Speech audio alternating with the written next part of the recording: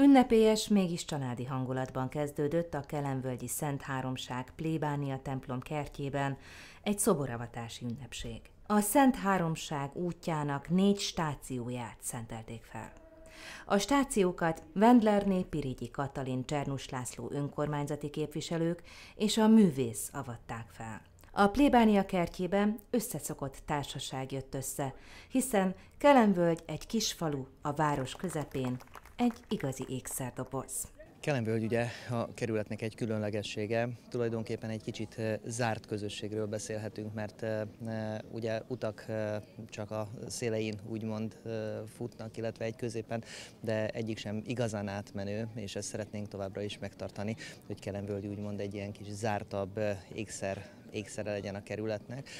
Ebből is látszik, hogy a, a közösség kicsit úgy működik, mint egy falu, tehát hogy egyszerre több korosztálynak is különböző rendezvényeket tudnak tartani.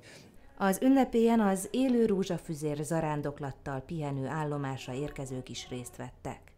A közreműködők között volt még Bőzsöny Ferenc, a Magyar Rádió örökös főbemondója, Horváth Mária szoprán énekművész és Balázs Mária hegedűművész.